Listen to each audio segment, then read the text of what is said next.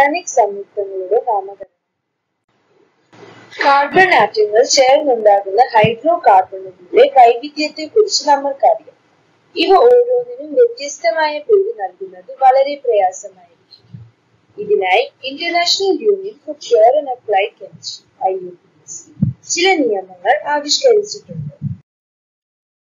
ഇന്ന് നമ്മൾ പഠിക്കാൻ പോകുന്നത് ഹൈഡ്രോ കാർബണുകളുടെ നാമകരണം ഫങ്ഷണൽ ഗ്രൂപ്പുകളും അവയുടെ നാമകരണവുമാണ്.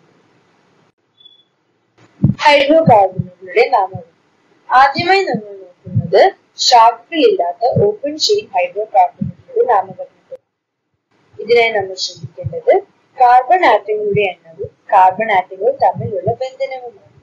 ഉദാഹരണത്തിന് ആറ് കാർബൺ ആറ്റങ്ങളുള്ള ഈ ഹൈഡ്രോകാർബൺ എടുക്കുക.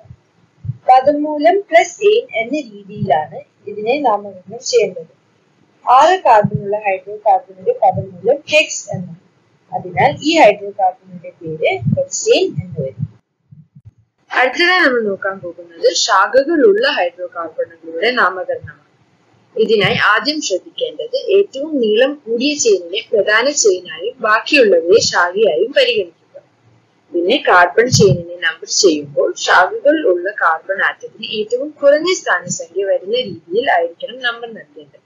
ഉദാഹരണത്തിന് താഴെ കൊടുത്തിരിക്കുന്ന രണ്ട് രീതികളിൽ ഇടത്തെ വശത്തുള്ള നമ്പറിംഗ് ആണ് ശരിയായ നമ്പർ ശാഖയുടെ സ്ഥാനസംഖ്യ പ്ലസ് ഹൈഫൻ പ്ലസ് റാഡിക്കലിന്റെ പേര് പ്ലസ് പദമൂലം പ്ലസ് പിൻ പ്രത്യയം എന്ന രീതിയിലാണ് നാമകരണം ചെയ്യേണ്ടത്. അങ്ങനെ നോക്കുമ്പോൾ നമ്മൾ എടുത്തിരിക്കുന്ന ഹൈഡ്രോ കാർബണിന്റെ പേര് ടു മീതൈൽ ഹെക്സീൻ എന്നായിരിക്കും വരുന്നത്.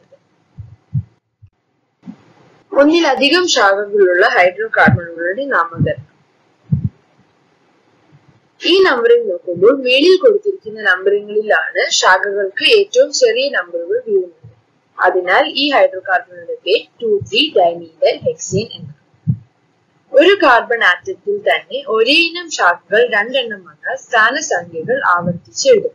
ഉദാഹരണത്തിന് ഈ ഹൈഡ്രോ കാർബണിന്റെ പേര് ടു ടു ഡൈമീഡൽ പ്രൊപ്പേൻ എന്നായിരിക്കും. വ്യത്യസ്ത ആൽക്കൈൽ റാഡിക്കലുകൾ ശാഖകളായി വന്നാൽ പേര് നൽകുമ്പോൾ അക്ഷരമാലാക്രമത്തിൽ എഴുതണം. ഉദാഹരണത്തിന് ഈ ഹൈഡ്രോ കാർബണിന്റെ പേര് four ethyl three methyl heptyne എന്നായിരിക്കും. അപൂരിത ഹൈഡ്രോ കാർബണുകളുടെ നാമകരണം. വിബന്ധനമുള്ള ഹൈഡ്രോ കാർബണിന്റെ നാമകരണത്തിൽ വിബന്ധനം വഴി ചേർന്നിരിക്കുന്ന കാർബൺ ആറ്റങ്ങൾക്ക് ഏറ്റവും കുറഞ്ഞ സ്ഥാനസംഖ്യകൾ ലഭിക്കത്തക്ക വിധത്തിൽ നമ്പർ ചെയ്യേണ്ടതാണ്. ഉദാഹരണം ഈ ഹൈഡ്രോ കാർബൺ എടുക്കുക. ഇതിൽ മേളിൽ കൊടുത്തിരിക്കുന്ന നമ്പറിംഗ് ആണ് ശരിയായ രീതി പദമൂലം പ്ലസ് വിബന്ധനത്തിന്റെ സ്ഥാനം പ്ലസ് ഇൻ പ്രത്യയം എന്ന രീതിയിലാണ് പേര് നൽകുന്നത്. അതിനാൽ ഈ ഹൈഡ്രോകാർബണിന്റെ പേര് ടു ട്വന്റി എന്നായിരിക്കും. ത്രിബന്ധനങ്ങൾക്കും ഇതേ രീതിയിൽ തന്നെയാണ് പേര് നൽകുന്നത്. പദമൂലം പ്ലസ് ത്രിബന്ധനത്തിന്റെ സ്ഥാനം പ്ലസ് ഇൻ പ്രത്യയം എന്ന രീതിയിലാണ് പേര് നൽകുന്നത്. അതിനാൽ ഉദാഹരണത്തിനായി എടുത്തിരിക്കുന്ന ഹൈഡ്രോ കാർബണിന്റെ പേര് ടു പെന്റൈൻ എന്നായിരിക്കും. ഫങ്ഷണൽ ഗ്രൂപ്പുകളും അവയുടെ നാമകരണവും ചില ആറ്റങ്ങളുടെയോ ഗ്രൂപ്പുകളുടെയോ സാന്നിധ്യം ഓർഗാനിക് സംയുക്തങ്ങൾക്ക് ചില പ്രത്യേക രാസ സ്വഭാവങ്ങൾ നൽകുന്നു. ഇവയെ ഫങ്ഷണൽ ഗ്രൂപ്പുകൾ എന്ന് വിളിക്കുന്നു. ആദ്യമായി നമ്മൾ നോക്കാൻ പോകുന്ന ഫങ്ഷണൽ ഗ്രൂപ്പ് ഹൈഡ്രോക്സിൽ ഗ്രൂപ്പാണ് അതായത് ഒ എച്ച് ഇതിന്റെ നാമകരണത്തിൽ ആൽക്കേന്റെ ഈ മാറ്റി ഓൾ ആഡ് അതായത് ആൽക്കനോൾ എന്ന് നമ്മൾ പേര് നൽകുന്നു. ഉദാഹരണത്തിന് ഈ ഹൈഡ്രോകാർബണിന്റെ പേര് കൊട്ടനോൾ എന്നായിരിക്കും. വേറൊരു ഉദാഹരണം ടു അടുത്ത ഗ്രൂപ്പാണ് ആൽഡിഹൈഡ് അല്ലെങ്കിൽ സി എച്ച് ഒ ഇതിന്റെ നാമകരണത്തിൽ ആൽക്കേന്റെ ഈ മാറ്റി നമ്മൾ ആൽ ആഡ് ചെയ്യും അതായത് ആൽക്കനാൽ എന്ന രീതിയിൽ പേര് കൊടുക്കും ഉദാഹരണം പ്രൊപ്പനാൽ ഇതിൽ ഒരു കാര്യം ശ്രദ്ധിക്കേണ്ടത് കാർബൺ അടങ്ങിയ ഫങ്ഷണൽ ഗ്രൂപ്പുകളിൽ ഫങ്ഷണൽ ഗ്രൂപ്പുകളിലെ കാർബൺ ആറ്റത്തിന് ആറ്റത്തെ മെയിൻ ചെയിനിന്റെ ഭാഗമായി പരിഗണിക്കേണ്ടത് കീറ്റോ ഗ്രൂപ്പ് സിഒ ഗ്രൂപ്പ് ഇതിൽ നമ്മൾ നാമകരണം മാറ്റുമ്പോൾ ആൽക്കേന്റെ ഈ മാറ്റി ഓൺ ആഡ് ചെയ്യുന്നു. അതായത് ആൽക്കനോ ഉദാഹരണം propanone two halo group fluorine chlorine bromine iodine എന്നിവയായ ഹാലജനുകൾ ഹൈഡ്രോ കാർബണിൽ അറ്റാച്ച് ചെയ്യുമ്പോഴാണ് നമ്മൾ ഹാലോ ഗ്രൂപ്പ് എന്ന് വിളിക്കുന്നത്. ഹാലോ ഗ്രൂപ്പിന്റെ സ്ഥാനം പ്ലസ് ഹൈഫൻ പ്ലസ് ഹാലോ ഗ്രൂപ്പിന്റെ പേര് പ്ലസ് ആൽക്കീനിന്റെ പേര് എന്ന രീതിയിലാണ് നാമകരണം ചെയ്യേണ്ടത് two fluoro butyne carboxylic C O S ഇതിൽ ആൽക്കീനിന്റെ ഈ മാറ്റി ഓയിക് ആസിഡ് ആഡ് ചെയ്യും അതായത് ആൽക്കനോയിക് ആസിഡ് ഉദാഹരണം പ്രോപ്പനോയിക് ആസിഡ് വേറൊരു ഉദാഹരണം pentanoic acid alkoxy group.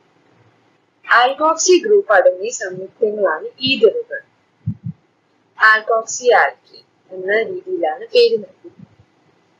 ഈ ഉദാഹരണത്തിൽ മീഥോക്സി ഈതേൻ എന്നാണ് ഈ ഹൈഡ്രോകാർബണിന്റെ പേര്. നമ്മൾ ശ്രദ്ധിക്കേണ്ടത് ഓ ഗ്രൂപ്പിന് ഇരുവശവുമുള്ള ആൽക്കൈൽ റാഡിക്കലുകളിൽ നീളം കൂടിയതിന് ആൽക്കെയിൻ നീളം കുറഞ്ഞതിന് ആൽക്കോക്സി ഗ്രൂപ്പായും പരിഗണിക്കാം. Amino group N H two അടങ്ങിയ എൻ എച്ച് ടു ഫംഗ്ഷണൽ ഗ്രൂപ്പായി വരുന്ന സംയുക്തമാണ് അമീനുകൾ ആൽക്കിന്റെ ഈ മാറ്റി അമീനാണ്. അതായത് ആൽക്കിനമീൻ എന്ന് പേര് ഉദാഹരണം എത്തനമീൻ വേറൊരു ഉദാഹരണം പ്രൊപ്പാൻ ടു ഇന്ന് പഠിച്ച് നാമകരണ രീതികൾ ഉപയോഗിച്ച് തന്നിരിക്കുന്ന ഹൈഡ്രോകാർബണുകൾക്ക് പേര് നൽകാൻ ശ്രമിക്കുക. എട്ട് കാർബൺ ആറ്റങ്ങളുള്ള ഈ ഹൈഡ്രോകാർബണിന്റെ മൂന്നാമത്തെ സ്ഥാനത്ത് മീഥൈൽ ഗ്രൂപ്പും അഞ്ചാമത്തെ സ്ഥാനത്ത് പ്രൊപ്പൈൽ ഗ്രൂപ്പും നൽകിയതിനാൽ three methyl five propyl octane എന്നായിരിക്കും ഈ ഹൈഡ്രോകാർബണിന്റെ പേര്. ഈ ഹൈഡ്രോകാർബണിൽ മൂന്നാമത്തെ സ്ഥാനത്താണ് അമിനോ ഗ്രൂപ്പ് വരുന്നത്. അതിനാൽ ഇതിന്റെ പേര് ഹെപ്റ്റാൻ ത്രീ എം ഇ എന്നാണ്. രണ്ടാമത്തെ സ്ഥാനത്താണ് ഈ ഹൈഡ്രോകാർബണിന്റെ രൂപാന്തരം വരുന്നത്. അതിനാൽ ഇതിന്റെ പേര് ടു ബ്യൂട്ടീൻ എന്നാണ്.